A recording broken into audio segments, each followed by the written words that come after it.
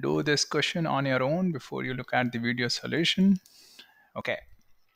So a researcher discovered, okay, so some researcher discovered something that people who have low levels of immune system activity, okay, so these people who have low levels of immune system activity, they tend to score much lower on tests of mental health. Okay, so these people who have low levels of immune system activity, they tend to score much lower on tests of mental health. Okay, so their mental health seems to be not so good or it's lower than do people with normal or high immune system activity. So these guys are scoring lower than these guys with normal or high immune system activity. Okay, so we are given a correlation that two things are occurring together. Okay, now a lot of people automatically assume causation. Okay, and the argument is also doing the same it's, it's assuming that that immune system activity has a role to play uh, in their scores or their mental health. Now, essentially, this is a very common confusion Uh, actually we face not only on GMAT question but in daily life also. Okay, it's just the way information is presented. So right now, information is presented that people who have low levels of immune system activity, then they tend to score much lower on these tests. So we are first presented this information, then we are presented this information. So naturally, this thought arises, oh, so low level of immune system activity is leading to lower score on these tests. Oh, so it's leading to lower mental health. But I can present the same information in another way. For example, I can say that people who score low let's say on tests of mental health or let's say I put it mental health tend to have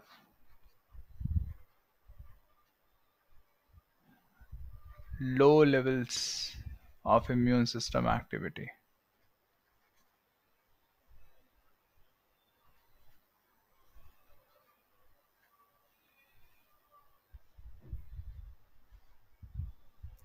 Okay.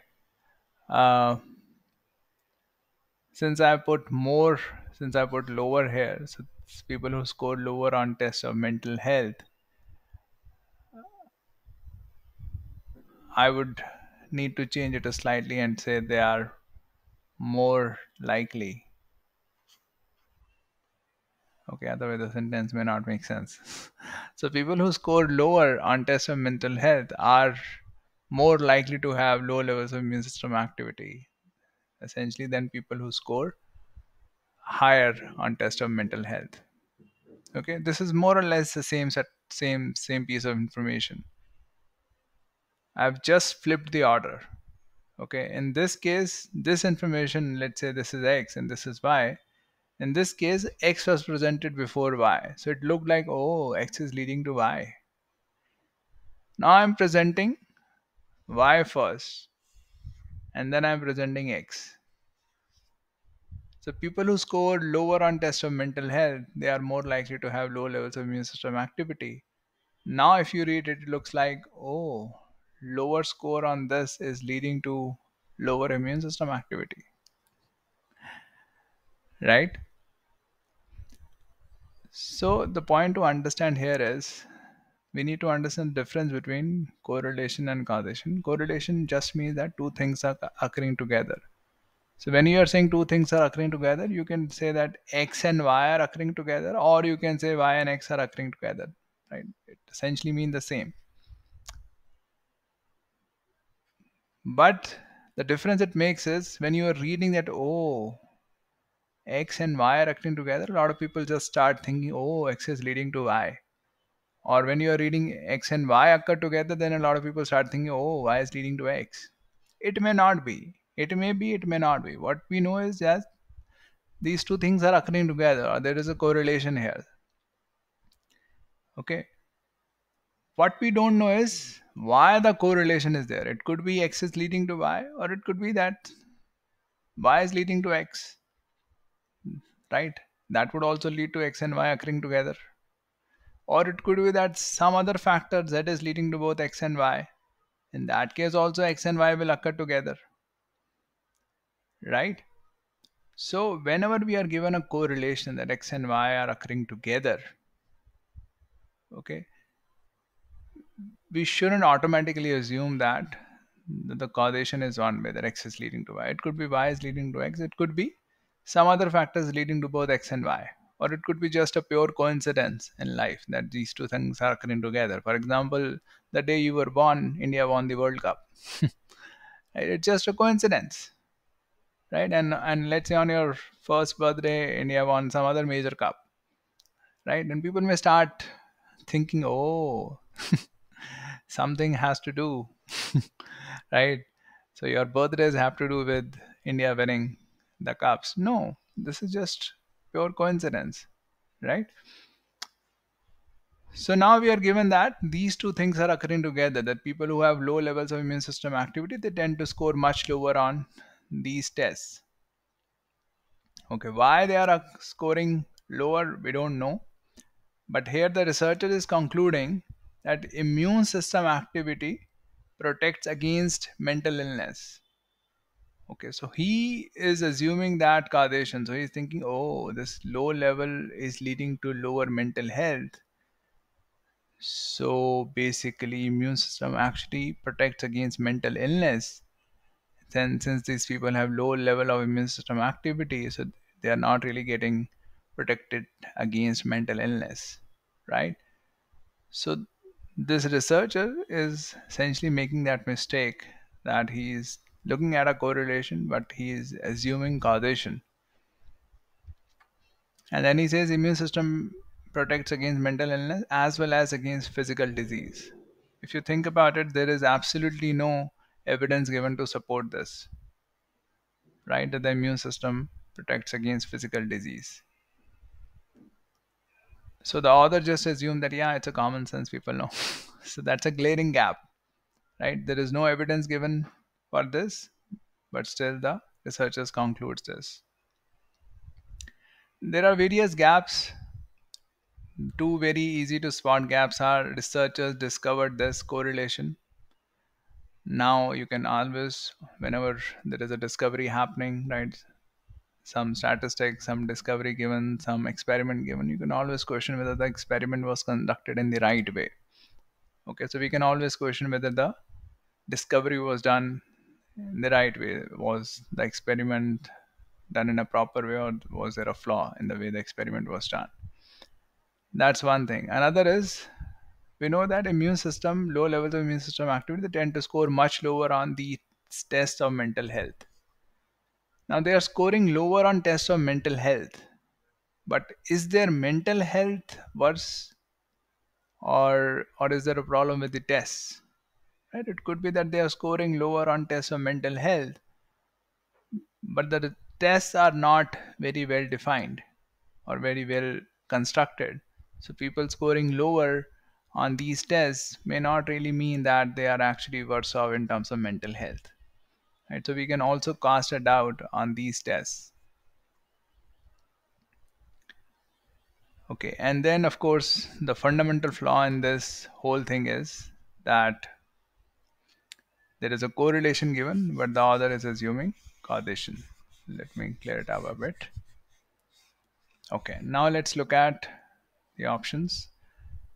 High immune system activity protects against mental illness better than normal immune system activity does. So it's comparing high immune system activity with normal, right? So our observed correlation was between low on one side and normal or high on the other side that these people tend to score much lower.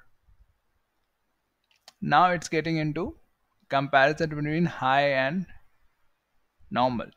So it's saying high protects against mental illness better. So, first of all, if high is better than normal, it means that immune system activity is playing a role in protecting against mental illness.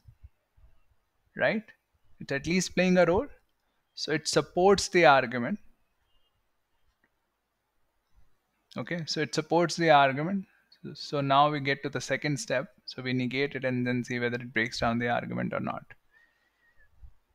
Okay, so the negation of this will be high immune system activity does not protect, doesn't protect against mental illness better than normal immune system activity does. So it's not better than normal.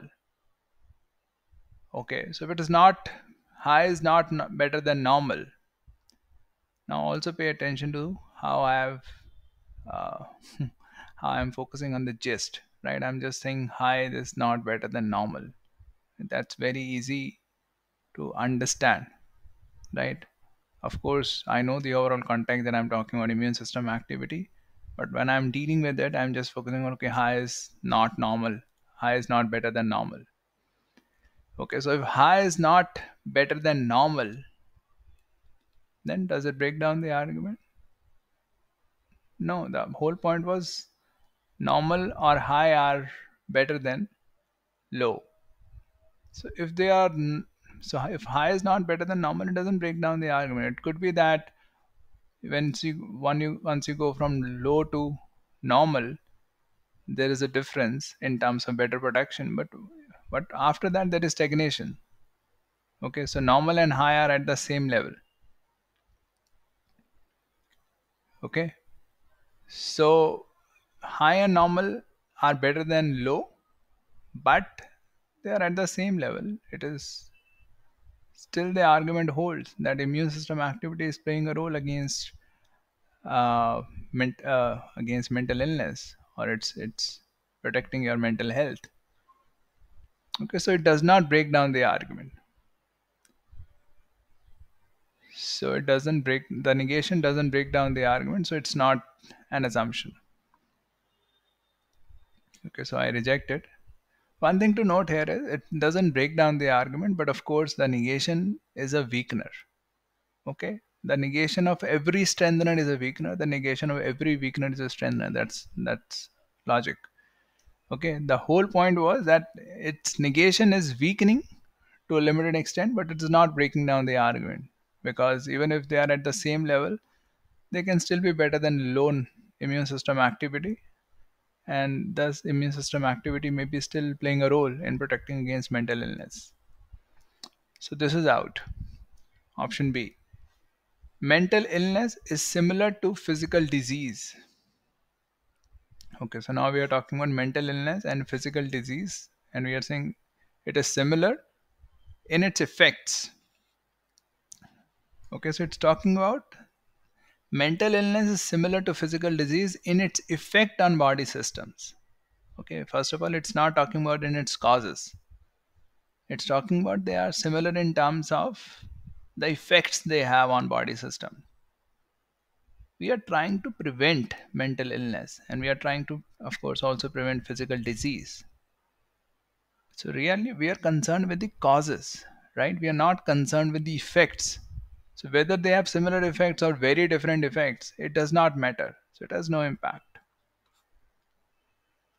Let's say if it were talking about causes, the mental illness is similar to physical disease in it in terms of its causes. So they have similar causes. If they have similar causes, right, in that case, one thing let's say our immune system may be able to protect against both of these two right? If they have similar causes then probably the same thing is going to work against both against right? One thing is one thing may protect against both of them because they have similar causes.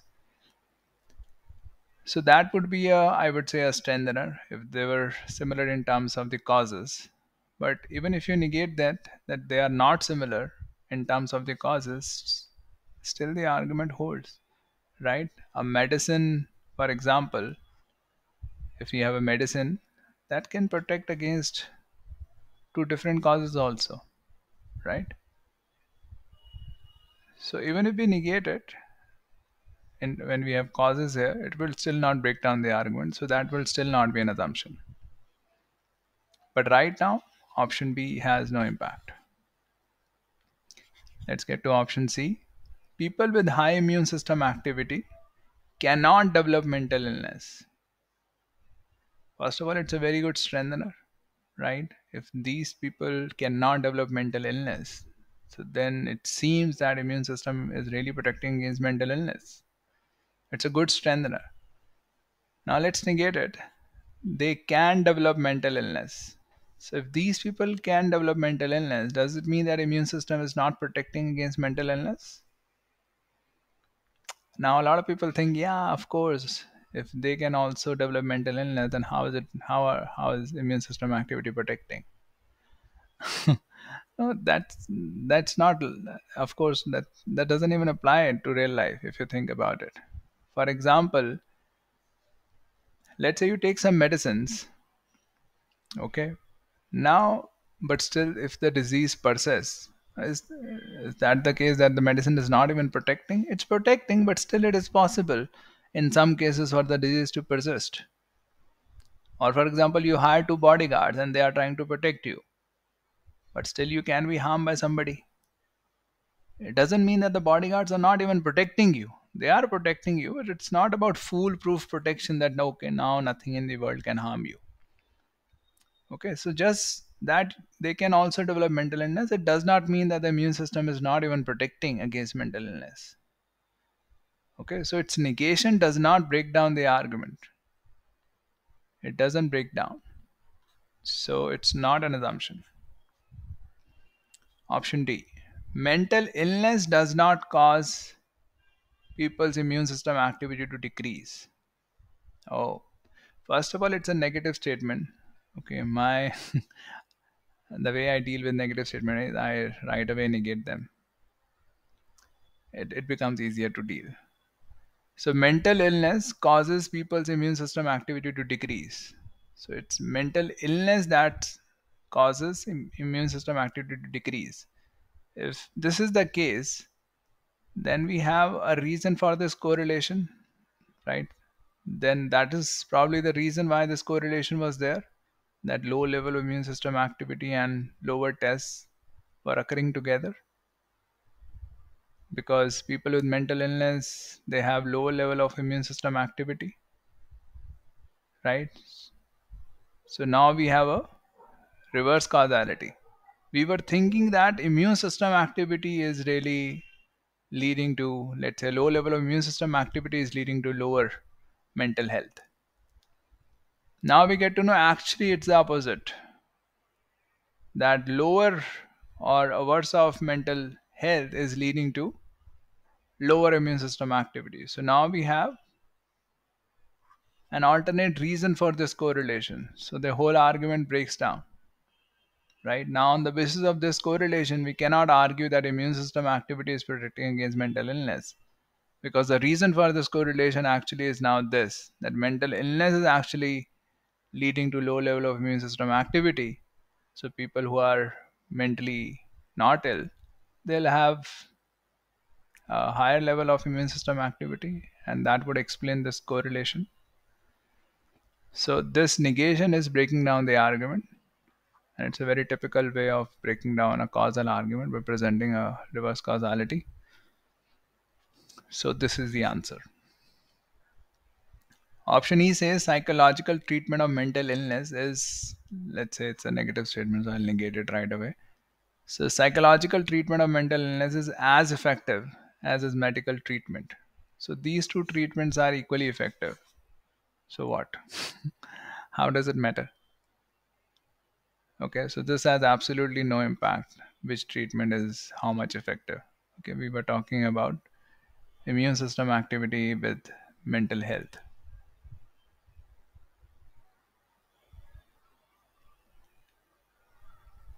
Okay, so yeah, that's it.